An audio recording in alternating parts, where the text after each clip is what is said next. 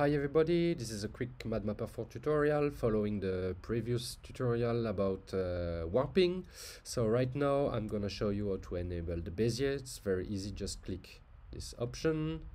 Okay, and so now anywhere uh, within my grid I can just select a warping point and I have access to the tangent. So right now without even moving the warping point I can modify the tangents like this this one uh, a bit like that and like that.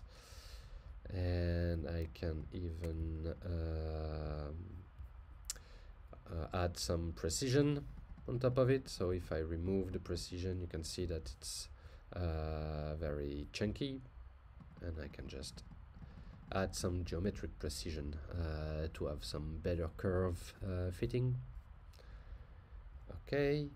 And uh, of course uh, I have this other option to completely reset my mesh like this or generate a grid. Let's say I want a grid of 10 by uh, 20 and apply and now I have a regular grid that's uh, been set on, on my mesh.